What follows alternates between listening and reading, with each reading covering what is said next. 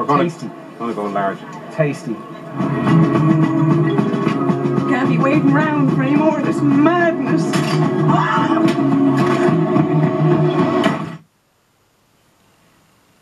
Um, this time next week, we will know the Oscars on Sunday night into Monday morning. All the results will be here. Had a little bit of Hollywood there, didn't we? Mm. Well, there's more coming your way now, everybody, because there was a surprise visitor to an antique shop in Lincolnshire this weekend. Yeah, as the world goes to Los Angeles for the Oscars, Johnny Depp was here. He made a surprise visit to Hemswell Antique Centre. He was there for four hours, and his purchases Four included hours? a Victorian top hat and a skull encrusted vase.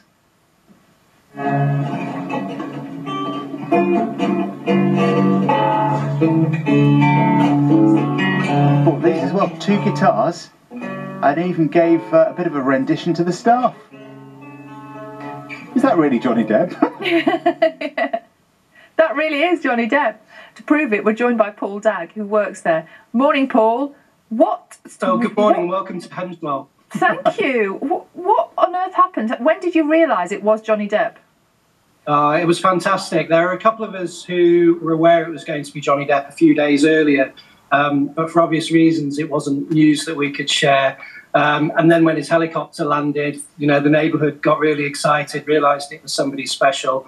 Um, most of our staff had actually gone home at that point, um, but a few lucky members of the team got to stay and take some photos, and he was he was absolutely brilliant with everybody. When his helicopter gonna say- landed. His helicopter landed. That's one way to arrive. Absolutely. It's not the first we've had at Hemswell, but normally we're a bit more discreet about our visitors. But he was quite happy for us to let everybody know he'd been, which is brilliant for us. I bet those staff members who went home earlier are kicking themselves now, aren't they? I did have a few messages over the weekend uh, taking me to task. so, did you find out um, why he chose your particular antiques emporium and what he was looking for? Yeah, absolutely. So Hemswell's Europe's largest antique centre. We've got um, nearly 400 dealers in the centre. So we are really well known in the industry. And we work quite closely with film studios, prop houses, those sorts of things. Um, and someone that Johnny knows quite well is a regular visitor to the centres. And it was him that got in touch and said, Johnny's furnishing a new house. He'd like to come and visit. Do we think we could do something for him? And obviously, we weren't going to turn an opportunity like that down. I love the fact that Um, it's now Johnny. Johnny this, Johnny that. Yeah, I mean, he did. It was fantastic. He did a personal video for um, one of my sons, and he, you know, signed autographs for people. He did a, a, an autograph on the Pirates of the Caribbean DVD. Um, it was just absolutely fantastic to to be around. Really, Now, having had a look at what he bought, was it he's bought a, Mm. a skull and some guitars? Can you give us an Yeah, I idea mean, what his we- taste might be like? So, what what is he? What? Um, you said he's trying to furnish a house. Yeah, absolutely. But we asked him when he came, look, is there anything that you'd really like us to, to pick out for you? And he just said he'd know it when he when he saw it, and he just bought a, a wide variety of things. He looked absolutely stunning in the top hat from Raven House, um, but he came to the right place for the guitars because we've got somebody who's got quite a large selection, and he found some pieces he really really liked. Um, it was uh, really interesting to see where his tastes went. Uh, I think the mo- two most common words uh, were "wow" and "oh my god," and that's how we feel being here every day. How much did he spend, Paul? Uh, I can't, I can't tell you that. I can't tell you that. But everything's great value here at Hemswell. please. that was a free pass, wasn't it? Were there any other customers in there at the time?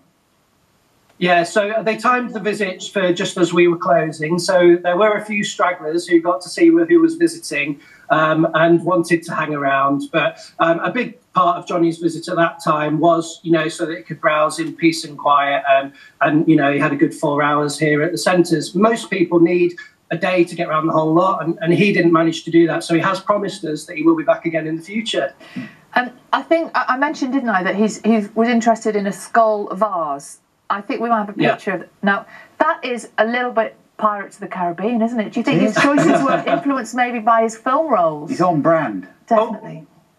Well, they could have been the top hat. He looked just like his character from Alice in Wonderland. So, you know, he's obviously got a, a certain sense of taste and style, um, and he blew everybody away with that. He's into he's into his antiques, isn't he? He loves he clearly loves antiques. And you say he'll be back. Any any uh, slot booked? No, no, he hasn't done yet, but I hear that he is browsing our website. There's about 7,000 items on there at the moment. So we're expecting an order in before he comes next. More or less than five grand? quite, poss- quite a bit more, I would have Oh, thought. really? Okay, well, well done to you. Paul, thank you very much Thank indeed.